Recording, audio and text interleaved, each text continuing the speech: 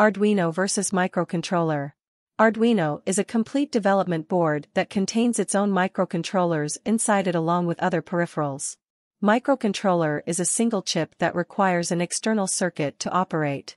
Arduino has its own programming environment IDE. Arduino programming language is easy to use and learn. Microcontrollers are hard to program, one must know the basics of microcontroller internal circuits. The Arduino is best because it is user-friendly as compared to the PIC microcontroller because if we want to load program in the Arduino, we just click on the upload in the Arduino IDE, while in case of PIC, we will perform complex steps in order to upload the code in the controller. There are many modules and hardware available in the market that can be integrated with Arduino to increase its functionality. Added support for microcontrollers is very limited, sometimes we have to design our own circuit from scratch.